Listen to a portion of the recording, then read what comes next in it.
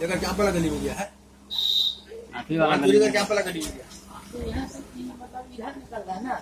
इधर लेकर निकल करके आप पला गलियों को निकल के निकल गया। और श्याम भैया में है? तो देखे हैं उसमें।